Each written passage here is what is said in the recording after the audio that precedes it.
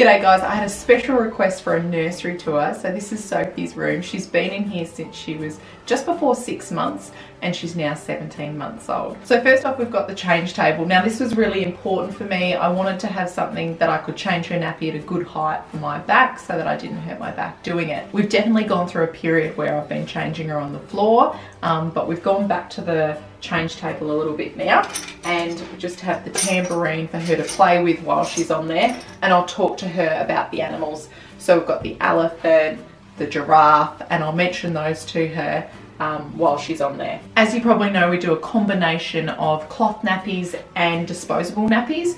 So we do the cloth nappies now when she's at childcare for those two mornings a week and otherwise we use disposables. When I was home full time not working, we did um, cloth nappies for a while full time and that worked well. When I went back to work, it was just too much with the cloth nappies with trying to get them washed and cleaned and dried and back on again. So on days that I'm not working, I've taken that stress away and I just do disposable nappies. But I've found with childcare, it's really handy to have the cloth nappy. She does two days in a row and then I wash that afternoon. So it works out really well. When Sophie moved to this room, we also bought this heater because we're able to control the temperature. When Sophie was still in our room, we used the ducted heating, but when she came down here, we wanted to control the heat but it's only a really small room. So if we use the central heating, then it was just heating up too much. So we went with this Polo heater, which has been awesome. We can set the temperature and whenever it gets to that, it turns on and heats again.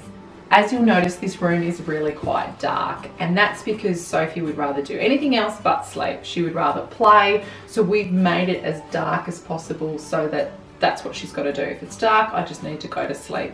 So our flannelette sheets.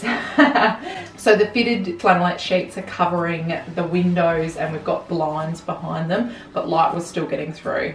Um, and even behind that on one of them I put some black cardstock just to block out the light and that worked really well but I found these flannelette sheets don't let the light in so that's really awesome.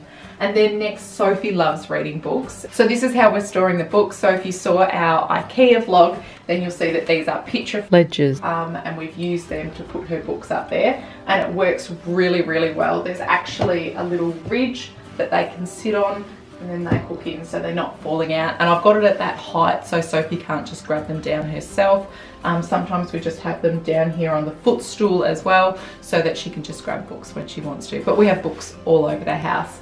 So other things we've tried with this was having them in a box, um, but I really like them displayed. And Sophie will now come in and point to which book that she wants to read. And we always read a book before she has a sleep. So she chooses what book she wants to read now. So that's been awesome. So what we've got here is the rocking chair. This has been really helpful because it rocks quite freely and then it's got a footstool that actually rocks as well.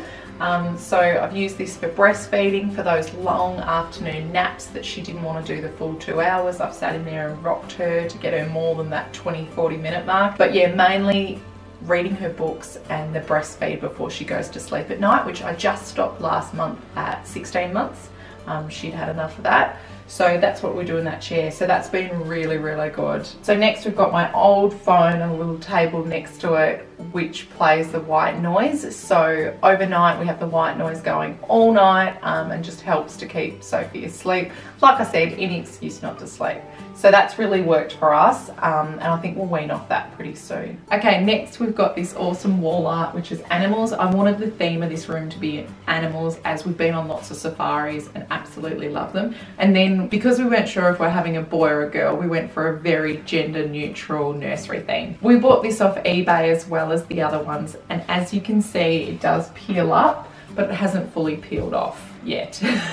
Next we've got the baby monitor, so that's a VTech Bear. It's actually the second one. The first one, the temperature was like five degrees out after a few months, not sure why.